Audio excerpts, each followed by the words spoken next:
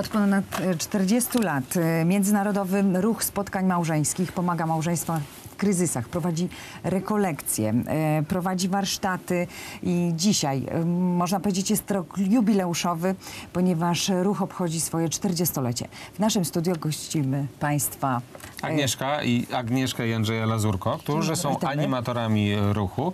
E, W samym ruchu są od e, 12 lat Mhm. E, i takie są zasady ruchu, że najpierw trzeba być uczestnikiem spotkań małżeńskich, potem ewentualnie, jeżeli ktoś ma na to ochotę, może zostać e, animatorem. I tak było w Państwa przypadku, rozumiem. Tak, dokładnie tak. E, Żeby być animatorem, najpierw trzeba być właśnie, tak jak Pani powiedziała, uczestnikiem, żeby poznać e, funkcjonowanie ruchu, poznać zasady dialogu, e, zacząć je wdrażać, zacząć żyć tymi zasadami e, i rozwijać się w, e, w doskonaleniu właśnie tego narzędzia.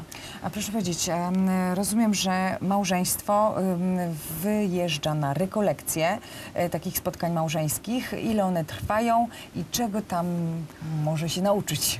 To jest wyjazd na taki, na weekend, dwa i pół dnia, to znaczy zaczyna się to w piątek wieczorem kolacją, a kończy po obiedzie w niedzielę.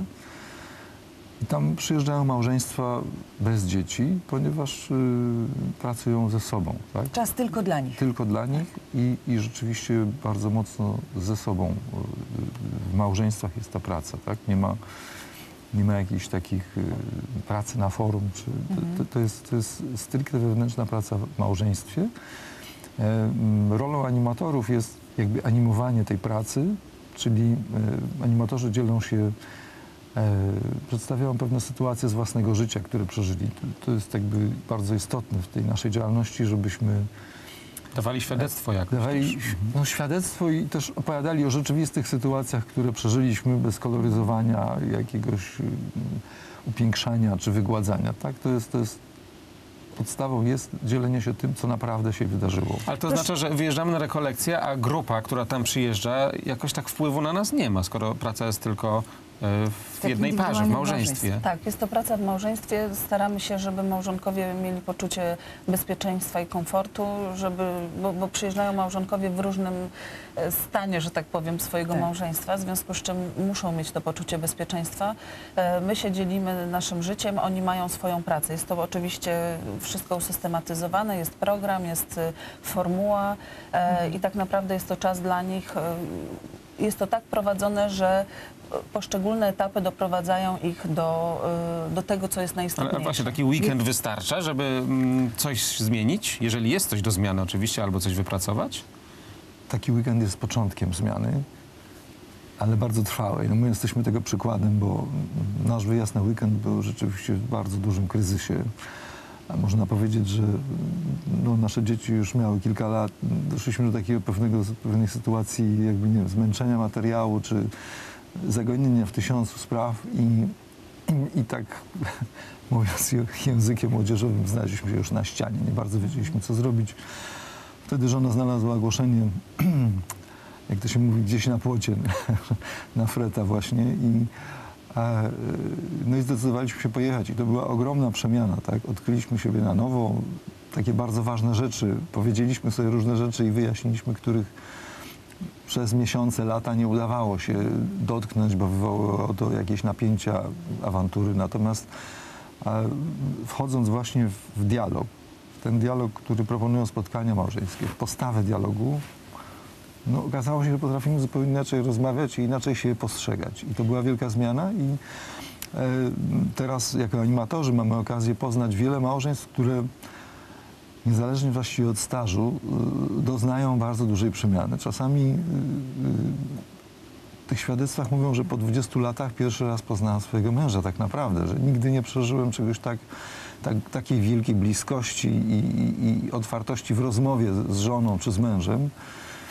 E, I co jest ciekawe właśnie, że, że są małżeństwa, które przyjeżdżają po dwóch latach małżeństwa, młode małżeństwo, które, któremu zależy na tym, żeby jakoś wejść na tą drogę dobrze I oni, dla nich to jest też ważne, ale też małżeństwa z 25-letnim stażem No, nawet no, statystyki mówią, że te y, pierwszych kilka lat może być bardzo kryzysowych. Jeżeli, naj- jeżeli ktoś się rozwodzi, to często w tych pierwszych latach, nie tam po wielu. Właśnie i o to chcieliśmy dalej zapytać Państwa. Y, Państwo z własnego doświadczenia, y, patrząc na, na te lata pracy z małżeństwami, y, co jest, co jest jak gdyby powodem y, rozwodu, rozpadu małżeństwa?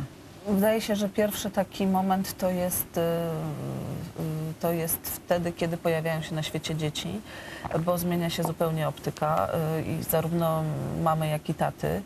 Y, Kolejnym takim y, kryzysowym momentem jest, y, jest dorastanie dzieci, czyli wiek nastoletni. To są też często relacje z rodzicami, z teściami, czyli tak naprawdę nie do końca wyjście z domu, nie odcięcie tej pępowiny. Zresztą obserwujemy, że bardzo duży wpływ na, na młode małżeństwa mają rodzice, którzy zbyt mocno ingerują. E, Teraz ja tylko powiem, przepraszam, powiedziałam właśnie... e, Nie wiem, czemu patrząc na nie, mnie. Nie, y, a propos twojego pytania, Mhm. że, że w, tak teraz, teraz statystyki, statystyki są takie, że w pierwszych, najwięcej małżeństw rozpada się e, w pierwszych pięciu latach po zawarciu związku. I też e, jest taka diagnoza, że właśnie bardzo dużo e, tych małżeństw rozpada się z powodu tego, że jest, r, młodzi ludzie są przyzwyczajeni do ingerencji rodziców. To znaczy to się zaczyna od szkoły podstawowej, prawda, że jakieś Tak. kłopoty się pojawiają w szkole, to mamusia z tatusiem natychmiast ingerują e, w obronie córki lub syna. E, I to pozorne odcięcie pępowiny jest pierwszym samodzielnym takim ruchem młodych ludzi, y, z którym sobie nie radzą, właśnie bez tej ingerencji. No, powstaje taki dylemat, ponieważ oni, y, znaczy w naszej kulturze obserwujemy bardzo duży szacunek, wbrew pozorom, młodych ludzi w stosunku do rodziców. Oni ich ogromnie respektują, bardziej niż to może na zewnątrz by się wydawało, tak? Ale mm, mentalnie, psychicznie jest im bardzo, bardzo trudno wejść na swoją drogę i bronić swojego zdania. I to, czego na tym weekendzie się dowiadujemy wszyscy i dowiedzieliśmy się również my, to jest to, że małżeństwo jest w centrum, że jest najważniejszą rzeczą, że małżonkowie Są tych dwoje pierwszym ludzi- muszą zobaczyć najpierw siebie i zadbać o siebie dobrze, żeby byli w stanie zaopiekować się dziećmi, innymi ludźmi, także Właśnie, bo nie tylko w odniesieniu do rodziców, do teściów są najważniejsi, ale także w stosunku do dzieci. Dzieci gdzieś tam z tego gniazda wyfruną w przyszłości. Trzeba je przez te życie przeprowadzić, a małżonkowie cały czas ten fundament mają stanowić. Tak, dlatego my się koncentrujemy na małżeństwie jako tej podstawowej re, relacji, mie- więzi, a potem dopiero są dzieci, są rodzice, są inni ludzie. I to jest tak naprawdę niezwykle istotne, bo, bo właśnie, właśnie dzieci paradoksalnie często dzielą rodziców. Mhm. E, Dlaczego? Dlatego, że mamy na przykład różne style wychowawcze. Dlatego, że jeden akceptuje Wyniesione z domu, wyniesione z domu. Dlatego, że jeden z, rodziców akceptuje ingerencję innych ludzi, drugi nie. Dlatego, że się porównujemy z innymi ludźmi, ze znajomymi, którzy mają małe dzieci i tak dalej, i tak dalej. To wszystko, zresztą to jest bardzo emocjonalny etap w życiu. Tak. Niezwykle emocjonalny. Dodatkowo, kiedy się pojawia to nowe życie, zanim jeszcze jakby przywykniemy do tej, do tej sytuacji, prawda, że są dzieci i że e, no też powinniśmy być w- jednomyślni w stosunku do tych dzieci. Nawet jak nie jesteśmy, to jednak e, Tak. starać się być, prawda? tak. W, w oczach dziecka to też dużo lepiej wpływa na dziecko, jeżeli widzi, że rodzice stanowią monolit. Tak. Em, No, jedność może, bo tak. różnice zdań, być, występują. I, ale czasami przy dzieciach potrafimy, że tak powiem, dojść do, do porozumienia, czy powiedzieć im, że porozumieliśmy się w jakiejś sprawie i nasze stanowisko jest takie. I to rzeczywiście, zwłaszcza u nastolatków, działa znacznie A lepiej. tak technicznie to nie jest problem, jeżeli chodzi o spotkania małżeńskie, że one odbywają się bez dzieci. Wiele osób, które mają dużo dzieci, szczególnie takich najmłodszych, e, trudno tak się zorganizować, żeby przyjechać, na, żeby wyjechać na weekend. Są wspólnoty, które spotykają się bez dzieci, no i tam jest wyzwanie organizacyjne. Są wspólnoty, które jednak całymi rodzinami e, gdzieś tam się Tak. formują. Tak, zdecydowanie. Natomiast e, tak jak powiedzieliśmy na początku, e, jeśli budujemy małżeństwo i nadajemy mu priorytet, no to jednak musimy mieć tą przestrzeń, żeby, żeby właśnie e, w ten sposób działać. No, no trzeba się przynajmniej na te trzy dni zorganizować e, i, i wyjechać. Potem, Czyli wtedy jak z już jesteśmy rodzicami w- się porozumieć. Tak, z rodzicami, z kimkolwiek No, z innym. Natomiast Tak. kiedy już jesteśmy w ruchu, jeśli, bo możemy kontynuować na naszą i, i rozwijać się w dialogu, e, będąc w ruchu poprzez e, tak zwane spotkania w grupach roboczych, tak zwanych małych grupach, raz w miesiącu się spotykamy. Pogłębiamy dialog, uczymy się też e, pracy z uczuciami, z niezrozumieniem uczuć, e, z pośrednim, bezpośrednim wyrażaniem naszych uczuć. Uczymy się też e, siebie nawzajem poprzez nasze, po poznawanie naszych temperamentów, co jest bardzo istotne, bo właśnie też na tym, na tym tle jest bardzo dużo nieporozumień, że mamy po prostu różne temperamenty i, i, i, i różnie działamy i się na przykład przez to nie rozumiemy. I kontynuując to, co mówiłam wcześniej o dzieciach, e, możemy na przykład na wakacje zabrać dzieci. Są takie turnusy m, organizowane właśnie dla rodzin. A czy mogliby Państwo e, uchylić rąbka tajemnicy? Bo ja rozumiem, że te warsztaty, rekolekcje to raczej nie, nie zagłębiamy się na forum, tylko jak ktoś ma ochotę, to jedzie i to sobie przeżywa. E, ale o takich zasadach dialogu, których e, Państwo uczy, uczą na rekolekcjach i na spotkaniach, czy, czy możemy o tym powiedzieć? Tak, oczywiście. Tak jak powiedziałam, y, narzędziem w spotkaniach małżeńskich jest dialog. Tak? To jest takie podstawowe narzędzie, którego się uczymy. To jest też charyzmat naszego ruchu. Dialog rozumiany jako słuchanie przed mówieniem, rozumienie przed ocenianiem, dzielenie się przed dyskutowaniem i nade wszystko przebaczenie. I my tu jeszcze dodajemy życzliwość i delikatność w tej rozmowie. Akceptacja. Wtedy jest, y, możemy mówić o, o spotkaniu osób w pełni. Tak? Ja bym dodał, że e, te zasady, które są jakby proste i jakby czytelne, e, dopiero wtedy działają, kiedy zaczynamy jakby nimi żyć. No, znaczy one wymagają, one powodują zmianę postawy. I rzeczywiście to się dzieje na weekendach. Widać jak ludzie przyjeżdżają z pewną postawą takiej wrogości, nieakceptacji, różnych żalów od lat e, zapieczonych e, do siebie nawzajem. e, I, I w momencie, kiedy po prostu zaczynają stosować te zasady, tak? Zaczyna się zmieniać ich postawa, zaczynają się otwierać na siebie. E, e, I, gdzieś ta wrogość zaczyna znikać, przechodzą do postawy właśnie akceptacji, przyjęcia, no bo słuchanie to jest przyjęcie drugiej osoby tak naprawdę, tak? My bardzo często w naszych jakichś emocjach e, mówimy, co mamy do powiedzenia emocjonalnie, a kiedy ta druga strona chce odpowiedzieć, to już tego nie słuchamy. Nie ma tego przyjęcia, bo jesteśmy tak skupieni na sobie, tak? Więc to, to jest... Czyli słuchanie przed mówieniem, e, powtórzmy może. Rozumienie przed ocenianiem, Tak, dzielenie się przed dyskutowaniem. A Oraz nade wszystko przebaczenie. przebaczenie. jest to bardzo delikatne, trudne, ja do, mhm. do, dopowiem, w życiu codziennym i tak naprawdę wymaga ciągłej praktyki przypominania sobie, bo, bo przecież e, żyjemy szybko, mamy dużo obowiązków, życie jest stresujące, więc Dlatego, tak jak pan powiedział, to jest początek y, drogi dopiero Tak. ten weekend. Prowadzą też e, państwo jako spotkania małżeńskie, jako wspólnota, też pary w związkach e, nieformalnych. Czym się różni taka praca? Czy, czy może jakimś celem jest też doprowadzenie e, tych małżeństw przed ołtarz? A może to jest tak, że, e, bo też wiele jest takich par, gdzie jest konflikt, osoba wierząca, osoba niewierząca. Tak, chci- chcielibyśmy tutaj podkreślić, że na taki weekend mogą przyjechać również osoby Niewierzący. niewierzące, o ile, o ile, że tak powiem, akceptują formułę, ponieważ w tym wszystkim, e, o, o czym mówimy, też do tego zapraszamy Pana Boga. Jest to ruch w Kościele e, zatwierdzony dekretem papieskim, e, w związku z czym z nami są też księża. Wśród animatorów mamy księży i każde takie spotkanie odbywa się też w, to, w towarzystwie osoby duchownej w spotkaniach są też siostry, e, siostry zakonne, e, więc jakby trzeba podkreślić, że jest to jednak e, taki trójkąt małżeński, tak? Żona, mąż i Pan Bóg. E, natomiast mamy też tak zwany odłam dla par niesakramentalnych, gdzie one również przeżywają takie same rozterki jak, jak my, y, małżeńskie, a oprócz tego no, mają jakiś konflikt w swojej relacji z Panem Bogiem. Przepraszam, Właśnie żyjąc że nie odłam, tylko, tylko, tylko mamy ofertę, propozycje i, i, i takie y, rekolekcje, spotkania y, też dla, dla małżeństw w związkach niesakramentalnych.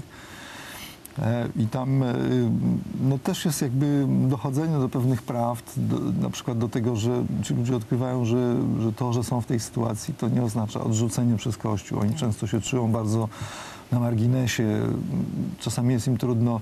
E, Też okazuje się, że, że, że przepracowanie pewnych rzeczy pozwala odnaleźć im drogę, tak? odnaleźć im jakąś drogę Pana Boga. do Pana Boga. E, No też y, przepracowanie swojej relacji w nowy sposób i tych dawnych relacji, uporządkowanie tego wszystkiego, rozwiązanie może pewnych konfliktów czy pewnych problemów, które okazuje się, że mogą być rozwiązane w wielu sytuacjach. Natomiast y, y, tutaj jeszcze wracając do tych naszej podstawowej działalności, do tych głównych weekendów, chciałbym podkreślić, że spotkania małżeńskie są otwarte na, na każdego, na każdą osobę, każde małżeństwo. Niezależnie od tego, czy, czy, czy, czy ludzie są wierzący, czy nie, czy są z innych wyznań, tak? To znaczy oni po prostu nie uczestniczą, bo na, na, na weekendzie y, są msze, ale o, to jest jakby do, dobrowolny wybór dla chętnych, tak? E, I mieliśmy takie przypadki, że, że małżeństwa były międzynarodowe, tak? I ktoś był zupełnie innego wyznania albo niewierzący, a na przykład żona była Polką i, i, i pochodziła z rodziny katolickiej. I tu nie było żadnej przeszkody, żeby ci ludzie przeszli, przepracowali te najważniejsze y, jakby elementy swojej relacji, bo tak naprawdę my się skupiamy na budowaniu dobrej relacji między mężem a żoną jako podstawy jakby wszystkich innych relacji i rodziny. funkcjonowania rodziny. Musimy powoli kończyć, ale jeszcze tylko- powiedzmy o tym jubileuszu, o tych obchodach 40. rocznicy, chociaż to się odbywa przy okazji takiego cyklicznego zjazdu. Tak, to znaczy nie, nie, nie, dajemy aż takiego dużego rozgłosu zjazdowi, natomiast jest teraz, od wczoraj w Konstancinie odbywa się tak zwany zjazd liderów, międzynarodowy zjazd liderów, ponieważ spotkania małżeńskie oprócz tego, że istnieją na terenie Polski w 27 ośrodkach diecezjalnych, funkcjonują również poza granicami, w około 13 ośrodkach, zarówno na wschodzie, jak i zachodzie Polski, wśród polskiej emigracji, też za oceanem w Stanach Zjednoczonych. E, I właśnie teraz odbywa się taki zjazd roboczy, e, cyklicznie co dwa lata, gdzie liderzy y, danych ośrodków omawiają różne swoje problemy, też y, wzmacniają się, formują i przy tej okazji będziemy troszeczkę świętować ten jubileusz 40-lecia. Tak jak m- mówimy, y, ruch działa od, po- od ponad tak naprawdę 40 lat na, te, y, na terenie Polski. E, I, I, dostał, I został dostosowany e, do naszych polskich realiów, bo Tak. wywodzi się z Kanady, ale jednak tam jest inna mentalność, e, to, co państw, na co Państwo zwrócili uwagę. E, i Jest dostosowany stricte do, do naszych polskich tak, do rodzin. naszych, do naszych I Pewnie polskich zmienia się rodzin też na przestrzeni lat, Cały prawda? Musimy to- dostosowywać chociażby język. No, no, problemy powiedzmy sobie są podobne tak naprawdę, bo to wszystko dotyka Mhm. sfery też emocjonalnej, duchowej. E, natomiast język, czy środki wyrazu, czy też problemy, Mhm. które się pojawiają w związku z, jakby z rozwojem cywilizacji są trochę, trochę inne. Ale trzeba powiedzieć, że, że sięgnęliśmy też do prawosławia i okazało się, że w prawosławiu e, powstało duże zainteresowanie. Można powiedzieć, że to jest taki rodzaj ekumenicznej działalności, że weszliśmy też jakby e, tam, gdzie, gdzie oczywiście e, e, kapłani mają żony i oni doznali, borykają się z też borykają się z problemami. problemami i docenili to i organizują weekendy też dla innych małżeństw, tak? nie tylko dla siebie. Także zapraszamy na spotkania małżeńskie, bo Powiedzmy warto. może tylko o tym, że, że Państwo grzybowscy y, zostaną jutro nagrodzeni y, medalem archidiecezji warszawskiej, y, wręczonym przez y, kardynała Nycza. Tak. To, to są Państwo, którzy jak gdyby rozpoczęli tutaj, tak? Rozpoczęli. Oni- którzy są liderami tego ruchu, y, cały czas aktywnie uczestniczą, prowadzą, Założycielami, założycielami, liderami, niezwykle skromni ludzie. Y, Państwo grzybowcy, grzybowscy, zwłaszcza pan Jerzy, jest autorem wielu książek, pozycji zarówno y, książkowych, zarówno dla małżeństw, jak i narzeczonych, bo na koniec chciałam tylko powiedzieć, że mamy też ofertę dla, dla, dla narzeczonych, Propozycje. dla zakochanych, tak Bo, zwanych, bo żeby warto, uniknąć warto tak, pracować, dla zanim jeszcze się e, Dokładnie. rozpocznie związek małżeński. Dziękujemy Bardzo bardzo. państwu dziękujemy. Agnieszka i Andrzej Lazurko, animatorzy ruchu Spotkania Małżeńskie, byli naszymi gośćmi. Dziękuję. A my zapraszamy bardzo. Państwa po krótkiej przerwie. To Polska na Dzień Dobry Weekend. Zapraszamy.